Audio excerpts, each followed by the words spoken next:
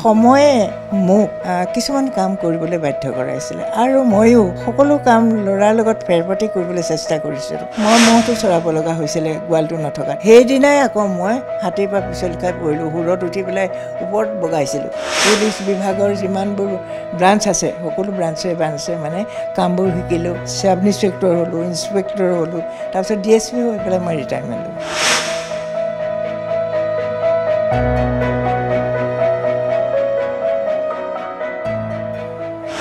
সময়ত অসমত মহিলাসকলে কাম কৰিবলৈ ওলাই অহা নাছিল। যি সময়ত অসমৰ যুৱতীসকলে বাহিৰলৈ ওলাই আহি কাম কৰিবলৈ তেওঁলোকে আপোচ কৰিছিল সেই সময়তে এগৰাকী মহিলাই অসমৰ সামাজিক প্ৰেক্ষাপটলৈ বিশেষ বৰঙণি আগবঢ়াই আহিছে। নমস্কাৰ আপোনালোকে চাই আছে এন ডি টুৱেণ্টি ফ'ৰ আৰু মই প্ৰাণজিত চুতীয়া। হয় সেইগৰাকী বিশেষ মহিলাক আজি আমি চিনাকি কৰাই দিব বিচাৰিছোঁ আমাৰ দৰ্শকসকলক। বিশেষকৈ ষাঠিৰ দশকত এইগৰাকী মহিলাই অসমৰ সামাজিক প্ৰেক্ষাপটত বিশেষভাৱে বৰঙণি আগবঢ়াই আহিছে। হয় এইগৰাকী মহিলা হৈছে অসমৰ প্ৰথমগৰাকী মহিলা আৰক্ষী বিষয়া লগতে ভ্ৰাম্যমান থিয়েটাৰ প্ৰথমগৰাকী নেপথ্য কণ্ঠশিল্পী আৰু সেইগৰাকী মহিলা হৈছে ৰেণু দত্ত বৰফুকন বাইদেউ। বাইদেউ পোনপ্ৰথমে আপোনাক স্বাগতম জনাইছোঁ আৰু আপোনাৰ যি বৰ্ণিল জীৱন পৰিক্ৰমা সেই পৰিক্ৰমা আজি আমাৰ দৰ্শকসকলক আমি জনাব বিচাৰিছোঁ। বহুতেই এই কথাখিনি জানে বা বহুতেই নাজানে।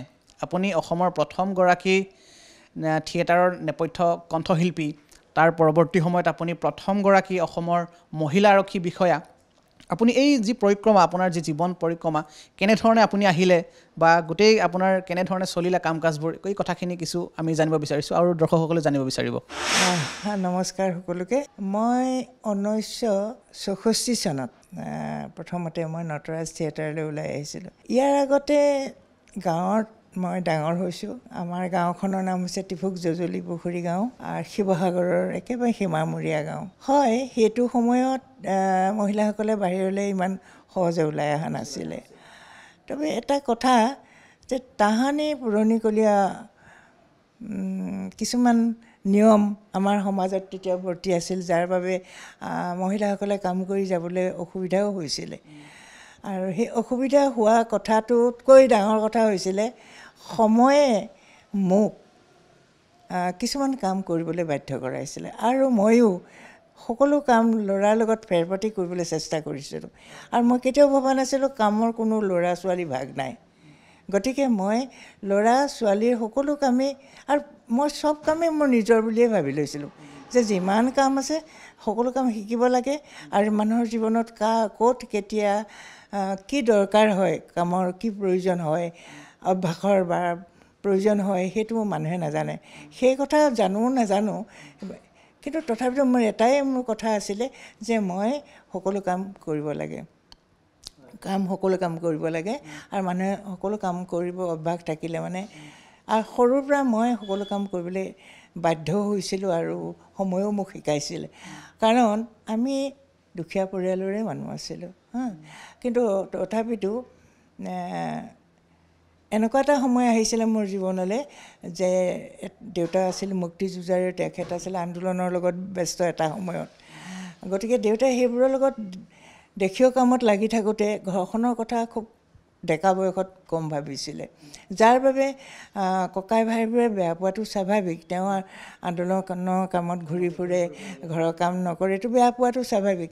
আইতা দেউতাহঁতে ককা দেউতাহঁতে হয়তো ভাবিছিলে যে বিয়া বাৰু কৰাই দিলে ভাল হ'ব বুলি। শেষত অৱশ্যে সেইটোৱে হ'ল বিয়া বাৰু কৰোৱাৰ পাছত দেউতা আগৰ হেৰিলৈ আহিলে। কিন্তু বিয়া বাৰু কৰোৱাৰ পাছত ককা দেউতা আমাৰ যৌথ পৰিয়ালটো ভাগ হৈছিলে। তেতিয়া প্ৰথম অৱস্থাত অৱস্থা আমাৰ খুবেই ভাল আছিলে। আমাৰ ঘৰখনৰ হাতীগিৰীয়া বৰফুকনৰ ঘৰ বুলিয়ে জানে। এতিয়া ভাল অৱস্থাৰ ঘৰখন যৌথ পৰিয়ালটো ভাঙন ভাঙন হোৱাৰ পিছত গতিকে ঘৰখনৰ প্ৰত্যেকটো পৰিয়াল চব পৰিয়াল ভাল হ'ব নোৱাৰে। গতিকে দেউতা অলপ মানে আন্দোলনমুখী মানুহ আছিলে ৰাজহুৱা কামত থকাৰ কাৰণে ঘৰখনৰ প্ৰতি পিছ দিয়াৰ কাৰণে দেউতাই হয়তো খেতি বাতি নকৰিছিলে অন্য ককাই ভাইবোৰে কৰিছিলে তাৰ মাজতে চলি গৈছিলে। এই বেলেগ হোৱাৰ পাছত সমস্যাটো অহাটো স্বাভাৱিক। আমিও জন্ম হ'লোঁ তাৰপিছত ককা দেউতা ঢুকালে তিনিজন ককা তিনিজন বেলেগ হ'ল আৰু তেওঁলোকৰ ভাগে ভাগে কোনোবাই ভাগে ভাগ ভাগ হৈ গ'ল আৰু। ককা দেউতা ঢুকোৱাৰ ছমাহো নহ'ল। দেউতাৰ ডাঙৰ ল'ৰা ঢুকাই থাকিলে। হা? ঢুকোৱাৰ পিছত দেউতা মানসিকভাৱে ভাঙি পৰিলে। কৰি তেওঁ আৰু মানে দেউতাক খুব সৰুৰ পৰাই কীৰ্তন ভাগৱতৰ চৰ্চা আছিলে। আৰু তেওঁ গছৰ তলত একদম য'তে ত'তে অকল হৰিনাম গায়ে জীয়াই থাকিব লগা মানে ফুৰা আছিলে। সেইখিনি সময়তে মই সৰুৰ পৰা গৰু গাই মানে পশু পক্ষীৰ লগত বৰ মানে হেৰি হাতীৰ লগত বিশেষকৈ গৰু ম'হৰ লগত খুব বন্ধু আছিলে। মই ম'হটো চৰাব লগা হৈছিলে গোৱালটো নথকাত ম'হ গোৱালটো নথকাত। শেষত গৈ চৰাওঁতে চৰাওঁতে শেষত গৈ পিঠিত উঠিয়ে ল'লোঁ। উঠি লৈ পথাৰত চৰাওঁতে চৰাওঁতে ইমান সুন্দৰ পৰিৱেশ কিছুমান দেখিছিলোঁ যে চৰাই উৰি গৈছিলে দলনিত ঘাঁহ খাই খাই মা মহটোৱে ধুনীয়াকৈ চৰি আছিলে। সেই সময়তে মোৰ এই দৃশ্যবোৰে মোক এদিন গীত কবিতা লিখাৰ মানে সুযোগ দিছিলে। আপুনি যেতিয়া হাতী চৰাবলৈ গৈছিলে বা ম'হ চৰাইছিলে আপুনি কৈছে যে হাতীৰ পৰা পৰিছিলে এই কথাখিনি আমি জানিব বিচাৰিছোঁ। অঁ নহয়। হাতীটো আৰু বৰদেউতাৰ বা আমাৰ যৌথ পৰিয়ালৰ আছিলে। উঠিবলৈতো নিদিয়ে। মনে মনেহে উঠিছিলোঁ। মোৰ বৰদেউতাৰ ল'ৰা নীলাম্বৰ বৰফুকন আছিলে তাৰমানে। সিয়ে মোক শিকাইছিলে মোক এই হাতীত কেনেকৈ উঠিব লাগে।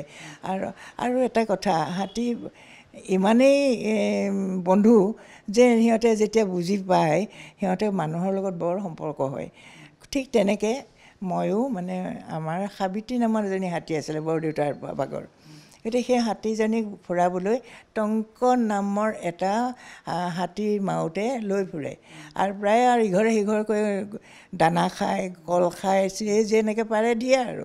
ঠিক তেনেকৈ ময়ো পঢ়িবলৈ মন নাযায় ৰাতিপুৱাই জানা? এই হাতীজনী যেতিয়া এই ঘূৰি ফুৰে তেতিয়া মানে মোৰ উঠিবলৈ মন যায়। আৰু হাতী মানে জোকাৰি কি সুৰ জোকাৰি জোকাৰি যেতিয়া আহে চোতাললৈ ধান দি পেলাই ভাল লাগে কল দি পেলাই ভাল লাগে। তেনেকৈ কৰোঁতে কৰোঁতে তাইৰ লগত মোৰ বন্ধুত্ব হৈছিলে। আৰু বৰদেউতাৰ ল'ৰাই কেতিয়াবা কেতিয়াবা উঠি লৈ ফুৰে আৰু মোকো আহ আহ পাৰিবি আহ এনেকৈ কৰি মোক লৈ ফুৰিছিলে? তাৰ পৰা মাউতটোক হাত কৰি ল'লোঁ আৰু। তাংকৰ দাইটি বুলি মাতোঁ মানুহ। তাৰপিছত আৰু এদিন আৰু কি হ'ল তোমাৰ দাইটিয়ে ক'লে ঠিক আছে তোক বাৰু মই হাতী উঠিবলৈ ভালকৈ খেল শিকাম তই কিন্তু এটা কাম কৰিবি। কথাটো ঘৰত নকওঁ মই কৈছোঁ তয়ো নকবি দেই দাইটি ময়ো নকওঁ। মানে পঢ়া শুনাৰ মাজতেহে ফাঁক মাৰোঁ। কেতিয়াবা কেতিয়াবা তাৰ লগত যাওঁ। এবাৰ তেনেকৈ হাবিত গৈছিলোঁ। যাওঁতে ঔটেঙা খাই আছে হাতীজনীয়ে টংক দাইটিয়ে কি কৰিছে এই চকলীয়া নামৰ ঠাই এডোখৰত পথাৰ এখনত তাতে মানুহ এজনীয়ে ধান দাই আছিলে। এইজনী আকৌ তেওঁৰ বৌকৰ ভনীয়েক। নাজানো আৰু ভিতৰি সিহঁতৰ আছিলে কিবা খেলা। তাৰপিছত দাইটিয়ে ক'লে তই এটা কাম কৰিছ সেইজনী আমাৰ বৌৰ ভনীয়েক বুজিছ ধান ধান ধান দাই আছে। মই খবৰ এটা লৈ আহোঁ দেই তই মই হাতী হাতীত বহি থাক। আৰু হাতীজনীক কৈছে এই সাবিত্ৰী তই ইয়াতে ঔটেঙা পাৰি ঔটেঙা ছিঙি ছিঙি খাই থাক। আৰু মামনি মোক ঘৰত মামনি বুলি মাতে। মামনিয়ে তোৰ আজি মই বোলো ভালেই হ'ল। আজি মই হাতীৰ মাউত হ'বলৈ পালোঁ। মোৰো ভাল লাগিছে। তাইও মোৰ কথা শুনে। ময়ো মূৰত চুপৰিয়াই চুপৰিয়াই মৰম কৰিছোঁ। তাই আনন্দতে ঔটেঙা লাগি আছে লমালমে। খাই আছে। মই গ'লোঁ ই দৌৰি গ'ল গৈ আৰু বৌৰ লগত একদম ধুনীয়াকৈ বিৰি এটা হুপি খুব কথা পাতিছে আৰু মানে নৰাণীৰ ওপৰতে কাপোৰ এখন দি পেলাই। অলপ পাছত আহিলে। আহি হাতীৰ ওপৰত উঠিলে। উঠাৰ পাছত পাহৰিলে বস্তু এটা দিবলৈ তাৰমানে লৈ গৈছিলে আচলতে। সেইবোৰ তেওঁলোকৰ ভিতৰুৱা কথা আৰু। এই বেগটোক উম, হাতী মূৰৰ ওপৰতে বেগ এটা আছিলে। অ' ৰ ৰ ৰ ৰ মই কথা এটা পাহৰি আহিলোঁ। কি পাহৰিলি দাইটি? ৰ দেখিছোঁ যে বেগৰ পৰা চেইন মানে মণি এডাল খাৰু এযোৰ উলিয়াই পেলাই দৌৰ দিছে আৰু। ৰ ৰ বৌক মানে এই বস্তুটো দিবলৈ পাহৰিলোঁ। সেইদিনাই আকৌ মই হাতীৰ পৰা পিছল খাই পৰিলোঁ। সুৰত উঠি পেলাই ওপৰত বগাইছিলোঁ। যাওঁতে পৰিলোঁ। পৰোঁতে আঁঠুৰ বিষ হ'ল। সেই আঁঠুৰ বিষে মোক এতিয়া লেঙেৰি কৰিলে। তাৰপিছতে আপুনি তাৰ গোটেই গাঁৱৰ শৈশৱ পাৰ কৰি আহিলে। তাৰপিছতে বহুতে ক'ব বিচাৰে যে আপুনি নেপথ্য গায়িকা আপুনি নটৰাজ থিয়েটাৰত গ'ল। সেই কথাখিনি জানে। কেনে কেনেধৰণে আপুনি তালৈ? মই প্ৰথমতে ম'হ চৰাই থাকোঁতে তাৰপৰা ম'হটোতো চৰাবই লাগে। স্কুলৰ পৰা আহি ম'হ চৰাওঁ ৰাতিপুৱাও ম'হ চৰাওঁ ম'হ চৰাই আকৌ বান্ধি থওঁ কাৰণ ম'হৰ গঁৰালটো গুচি গ'ল। এই ম'হত উঠিয়ে মই প্ৰথম গীতটো গাইছিলোঁ। হা গানটো গান সেই তেতিয়া দেউতাক দিলোঁ। সেই বগলী চৰাই দেখি পেলাই মই গান লিখিছিলোঁ। অৱশ্যে দেউতাই মোক প্ৰথমতে হাৰমনিয়াম বজাই শিকাইছিলে সৰুৰ পৰাই আৰু নাচিবলৈও শিকাইছিলে। দেউতা চুকুৰা ডান্সাৰো আছিলে হা বাৰু যেই নহওক। দেউতাৰ পিছতে দেউতাৰে মোক গান শিকাইছিলে। আৰু এই গানটো দেউতাৰ হাৰমনিয়ামত সুৰ কৰিলোঁ কৰি পেলাই সেইটো গাই আছিলোঁ। তা নতৰা দেউতাই আকৌ মোক সৰুতে কৈছে তোক মই এদিন গায়িকা এগৰাকী লতা মংগেশকাৰৰ নিচিনা গায়িকা এগৰাকী লক্ষ্ণৌত পঢ়াম। তেতিয়া সৰুতে এনেকৈ আশা দিছিলে আৰু। ভা মোৰো ভাবোঁ মই গান গাম মই লক্ষ্ণৌত পঢ়িম মানে গানৰ স্কুলত। খুব মানে মোৰ হেঁপাহ আৰু এটা ভাল লাগে। কিন্তু যেতিয়া দেউতা মানে মানসিকভাৱে ভাৰসাম্য হেৰুৱালে দেউতাই তেতিয়াতো মই দেউতাক ক'তনো দেউতাই পঢ়াব পাৰিব? মোকতো আৰু ইমান দূৰত নি কৰিব নোৱাৰে। খাবলৈকে দিগদাৰ তেতিয়া। সেই সময়তে নটৰাজ থিয়েটাৰত আপুনি গান গালে কিমান দিন আপুনি থিয়েটাৰত থাকিলে? তাৰ পেপাৰত এটা এডভাৰটাইজ পাই পেলাই মই নটৰাজলৈ গ'লোঁ। নিদিলেও গৈছোঁ আৰু জোৰ জবস্তি গৈ তাতে তিনি বছৰ থাকিলোঁ। থাকি তাৰ পৰা এদিন মালিগাঁৱত মোৰ মাহীদেউহঁত আছিলে। মাহীদেউ হেমন্ত গগৈ বিচিত্ৰা গগৈ তেওঁলোক আছিল তালৈ আহিছিলোঁ। আহোঁতে আহ, এখন পেপাৰ পাইছিলোঁ অসমবাণীখনেই তাতে লিখিছিলে যে এণ্ড ড্ৰামাত ভাৰত চৰকাৰৰ এণ্ড ড্ৰামাত প্ৰথমবাৰৰ বাবে অসমত এটা শাখা খোলা হ'ব। তাতে প্ৰথম নৃত্যশিল্পী বিচৰা হৈছে। তাতে মই এপ্লাই কৰিলোঁ।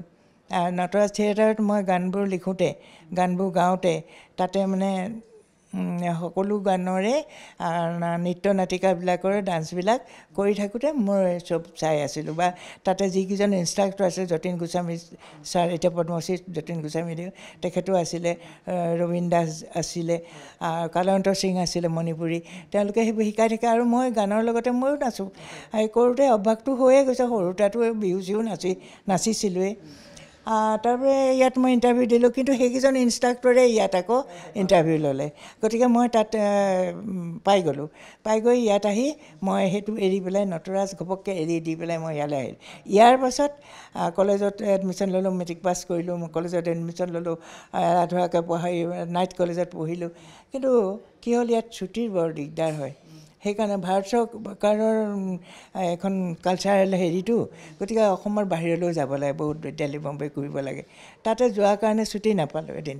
নোপোৱাৰ কাৰণে ভাবিলোঁ মায়ে আহিব সময়ত খুব কান্দিছিল যে মই তোক পঢ়া কথাটোৱে ভাবিছিলোঁ তই বাহিৰত এনেকৈ ফুৰাটো বিচৰা নাছিলোঁ। এতিয়া মই ভাবিছোঁ মায়েতো মাৰ ইচ্ছাও পূৰণ কৰিব লাগিব। গতিকে মই কি কৰিলোঁ মই পঢ়াৰ কথা ভাবি পেলাই কলেজত এডমিশ্যন টেডমিশ্যন লৈ থাকিলোঁ আৰু। তাতে ইয়াতো যেতিয়া ছুটি নাপালোঁ নোপোৱাৰ কাৰণে কলেজৰ পৰীক্ষা আছিলে নোপোৱাৰ কাৰণে মই চাকৰিটো এৰি দিলোঁ। এৰি দি মাজতে অলপ কেইদিনমান বৰ কষ্ট হৈছিলে। তেতিয়া মই টাইপ শিকিছিলোঁ। টাইপৰ এখন ফাৰ্মত ডান্স ক্ৰিয়েশ্যন বুলি তাত মই কাম কৰিছিলোঁ। সেই তাত কাম কৰোঁতে আৰ্টৰ কাম সৰুতে মই ছবিও আঁকিছিলোঁ মায়ে শিকাইছিলে। তাত আকৌ ছবি অঁকা কামো আছিলে অফিচটো চলাব লাগে। মই তাইৰ পৰাও কামখিনি কৰোঁ আৰু আৰ্টিষ্টবিলাকক গাইড দিওঁ আৰু কিবা লাগিলে আনি দিওঁ। এই অৰ্ডাৰ কৰোঁ আৰু মই বহুত কাম কৰিবলগীয়া হৈছে সেই সময়ত। তাৰপিছতে আপুনি আকৌ অসম আৰক্ষীতো যোগদান কৰিলে। তাতে পালোঁ এখন পেপাৰ আকৌ যে তাতে এডভাৰটাইজ হ'ল অসম আৰক্ষীত পুলিচ মানে প্ৰথমবাৰৰ কাৰণে মহিলা মানে পুলিচ ল'ব আৰু। কিমান চন আছিলে এইটো ছিক্সটি নাইন ছিক্সটি নাইনতে আৰক্ষী বিভাগত জইন কৰিছে। ছিক্সটি নাইনতে মানে এডভাৰটাইজ ছিক্সটি এইটৰ লাষ্টত মই এডভাৰটাইজ পাইছোঁ আৰু ছিক্সটি নাইনত মই জইন কৰিছোঁ। গৈ ট্ৰেইনিং ট্ৰেইনিং কৰিলোঁ। কেৰি আহিলোঁ তাৰ মোৰ পাছতে কিছুমান কনষ্টেবল ছজনীমান লৈছিলে। তেওঁলোকো আহিলে মোৰ পাছতে। আহি আৰু মই কামৰূপত জইন কৰিলোঁ অবিভক্ত মানে হেৰি কামৰূপ গুৱাহাটীতে জইন কৰিলোঁ। আৰু প্ৰথম মই এয়াৰপৰ্টৰ ছিকিউৰিটি মানে মুকলি কৰিছোঁ। তাৰপিছত আৰু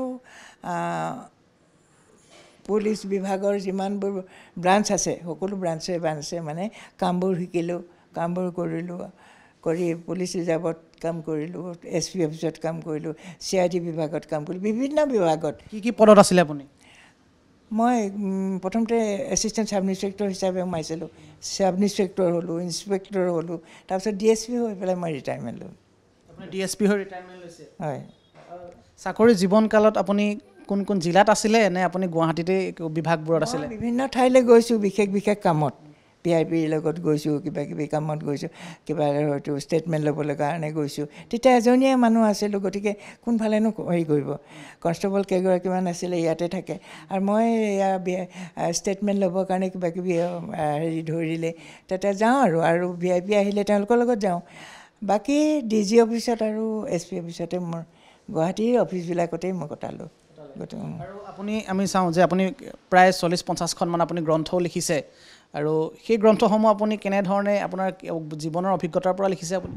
না জীৱনৰ অভিজ্ঞতা গানবোৰতো লিখিছোঁ সৰুৰ পৰাই নাইনটিন ছেভেণ্টি থ্ৰী মানে ঊনৈছশ তেষষ্ঠি চনতে তেসত্তৰ চনতে মোৰ প্ৰথম গীতৰ পুথিখন ওলাইছে। সৰুৰ পৰা যিমান গীত লিখিছিলোঁ নটৰাজত যিমান গাইছিলোঁ সেইবিলাকৰ মনৰ সুৰনামৰ প্ৰথম পুথিখন তেসত্তৰ চনতে মোৰ ওলাইছে।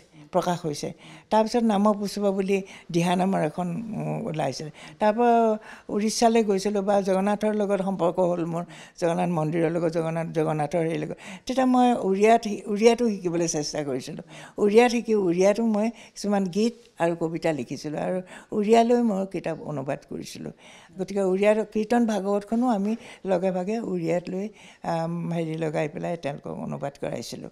সেইটো কৰি আৰু এতিয়া সেইকেইখনো সেয়া সময়ে যিটো আনি দিয়ে ধৰক অভিজ্ঞতাৰ পৰাই বহি থাকিলেও অফিচততো চব সময়তে আৰু দুৰ্ঘৰ কামটো নহয় কিন্তু মোৰ লগত সদায় মানে কাগজ কলম থাকে য'ত মানে এটা এটা পইণ্টত লওঁ আৰু সেইটো লিখোঁ।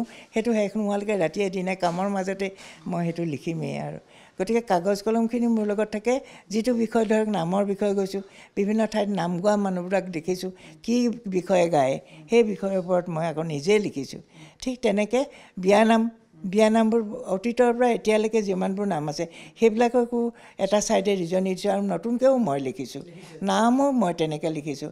আৰু সৰু ল'ৰা ছোৱালীৰ কাৰণে শিশু পুথি যেনেকৈ আমাৰ শব্দৰ সংলাপ যেনেকৈ মই কৈছোঁ শব্দবোৰ আমাৰ হেৰাই গৈছে। সেই শব্দবোৰ ক'ত ক'ত ব্যৱহাৰ হয়? সেইকাৰণে সেই শব্দ শব্দৰ সংলাপ বোলা কিতাপখন মই তেনেকৈ লিখিছোঁ। বৰ্ণমালাৰ কবিতা। বৰ্ণমালাবিলাকক মই কি কৰিছোঁ? কবিতাৰে বান্ধিছোঁ। বান্ধি পেলাই তেনেকৈ। এতিয়া কণ মইনাৰ আখৰ চিনাকি। সৰু ল'ৰা ছোৱালী কেনেকৈ আখৰ চিনাকি হয়? মই কবিতাৰে গাঁথনি দি চাৰি পাঁচটা শব্দৰ ভিতৰত তেওঁলোকক শিকাইছোঁ। তেনেকৈ ধৰণৰ। আৰু সময় কিছু কমি আহিছে। গতিকে বাইদেউৰ যি বৰ্ণিল জীৱন পৰিক্ৰমা বাইদেউৰ যিসমূহ কথা বতৰা সেই কথা বতৰাসমূহ আমি শুনালোঁ।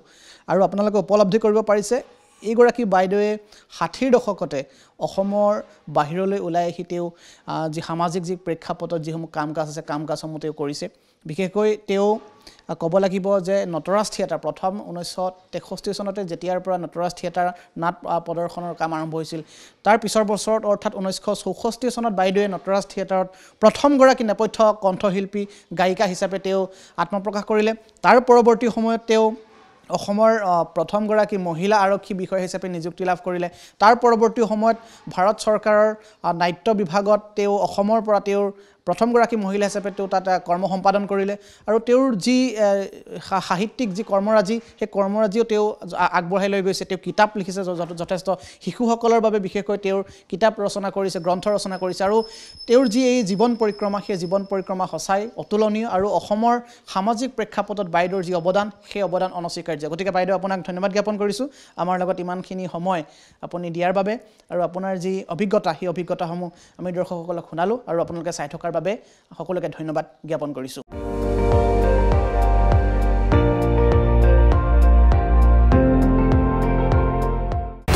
আপুনি চাই আছে এন ডি টুৱেণ্টি ফ'ৰ। সৰ্বশ্ৰেষ্ঠ নহয় সৰ্বোত্তমৰ দৌৰত।